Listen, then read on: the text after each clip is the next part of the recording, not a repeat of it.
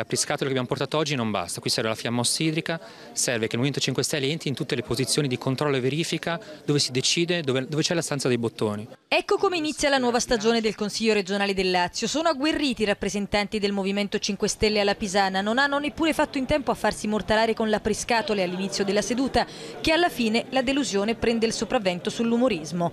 La questione è quella della mancata rappresentanza del proprio movimento nell'ufficio di presidenza che è stato nominato oggi. Leodori, PD presidente, vicepresidenti, Valeriani per la maggioranza e Storace per le opposizioni e non è andato nulla ai grillini e loro annunciano di ricorrere al TAR.